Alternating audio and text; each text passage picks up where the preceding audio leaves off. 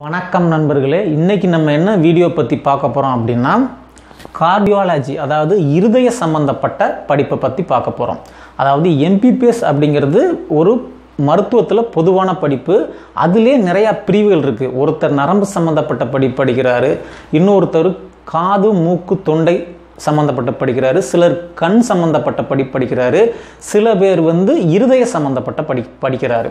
இப்போ நம்ம பார்க்க போகிறது இந்த கார்டியாலஜி அதாவது இருதய சம்மந்தப்பட்ட படிப்பு படித்தா அவர் அதன் மூலியம் வருமானம் பேர் புகழ் அதாவது நம்மளை ஒரு சில ஆஸ்பத்திரிக்கு போனோடனே சொல்கிறோம்ல அந்த டாக்டர்கிட்ட போ போன உடனே நல்லா கேட்கும். இருது ஒரு ஊரில் இருதய சம்மந்தப்பட்ட படித்த படிப்பு டாக்டர் பத்து பேர் இருபது பேர் இருப்பாங்க. ஆனால் மக்கள் மத்தியில் தெரியுது ஒரு சிலரை மட்டும்தான் கரெக்டாக தெரியும்.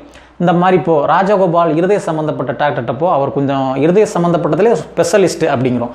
அதுக்கான கிரகநிலை அமைப்பு நல்லா இருந்துச்சு அப்படின்னா இந்த இருதய சம்மந்தப்பட்ட படிப்புக்கு எப்படி இருக்கும் அப்படின்னு பார்க்க போகிறோம் அதாவது எந்த லக்னமாக இருந்தாலும் உதாரணத்துக்கு நான் கும்ப லக்னம் போட்டிருக்கிறேன். உங்களுக்கு எந்த லக்னமாக இருந்தாலும் லக்னத்துக்கு ஐந்தாம் இடம் தான் நம்ம உடல் நம்ம உடம்புல ஐந்தாம் இடம்ங்கிறது இருதயத்தை குறிக்கும். கிரக கரகத்தில் சூரிய பகவான் தான் இருதயத்தை குறிக்கும். இப்போ நான் கும்ப லக்னத்துக்கு போட்டிருக்கிறேன். கும்பத்துக்கு இருந்து ஐந்தாம் இடம் மிதுன ராசியாக வருது. மிதுனத்துக்கு அதிபதி புதன். புதன்கிற கிரகம் அதாவது புதன் மிதுனத்திலேயோ சிம்மத்திலேயோ துலான்லையோ விருச்சகத்திலேயோ தனசுலையோ மேசத்துலேயோ இந்த இடத்துல புத பகவான் இருந்துச்சு அப்படின்னா கார்டியாலஜி அதாவது இருதய சம்பந்தப்பட்ட படிப்பு படித்து அதன் மூலியம் பேரு பணம் புகழ் எல்லாமே சம்பாதிக்கிறதுக்கான வாய்ப்புகள் அதிகமாக இருக்குது ஏன்னா லக்னத்துக்கு ஐந்தாம் இடம் என்பது இருதயத்தை குறிக்கிறதுனால ஐந்தாம் வீட்டதிபதி வலிமையாக இருப்பது மிக முக்கியம்.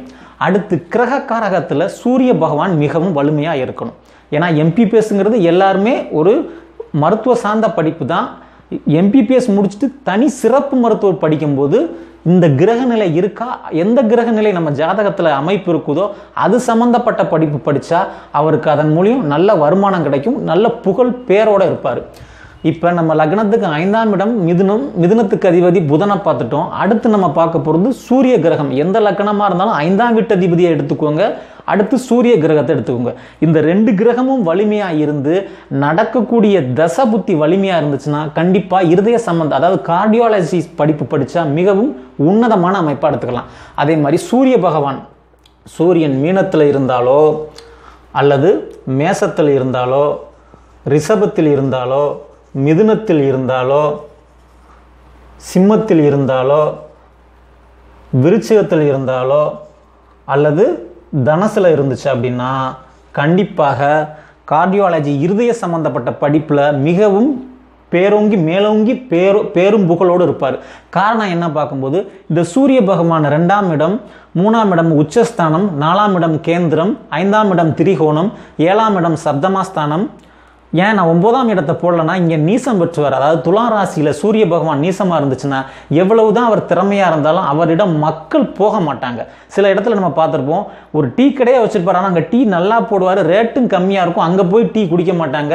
இன்னொரு கடையில் சுமாராக தான் இருக்கும் ஆனால் அங்கே போய் கூட்டம் போய் விழுந்துக்கிட்டு இருக்கும். இதுக்கு காரணம் என்னென்னா அவருடைய ஜாதக ரீதியாக கிரக அமைப்பு தான் காரணம். அதனால தான் நான் சொல்லியிருக்கிறேன் கார்டியாலஜி இருதய சம்பந்தப்பட்ட படிப்பு படிக்கணும்னா லக்னத்துக்கு ஐந்தாம் வீட்டதிபதி கிரக கரகத்தில் சூரியன் நடக்கக்கூடிய தசபுத்தி வலிமையாக இருந்துச்சுன்னா இந்த கார்டியாலஜி இருதய சம்பந்தப்பட்ட படிப்பு படிக்கிறதுக்கு மிகவும் மேலோன ஒரு மேலான ஒரு ஜாதக அமைப்பு நம்ம எடுத்துக்கலாம்.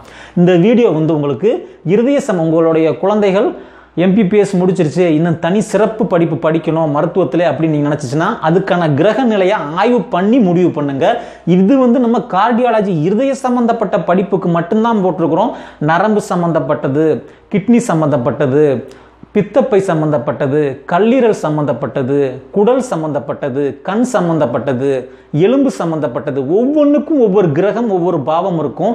அந்த கிரகம் பாவத்துக்கு ஆராய்ச்சி பண்ணிட்டு தசபுத்தியை முடிவு பண்ணிட்டு தான் அவர் இந்த கல்வி படித்தா நல்லா இருக்குமா நல்லா இருக்காதா சுமாராக இருக்குமா அப்படிங்கிறத நம்ம முடிவு பண்ண முடியும். இந்த வீடியோ கார்டியாலஜி இருதய சம்பந்தப்பட்ட படிப்புக்கான கிரக நிலை எப்படி இருக்கணுங்கிறத மிக தெளிவாக பார்த்தோம். இந்த வீடியோ பொறுமையாக பார்த்த உங்களுக்கு மிக்க நன்றி.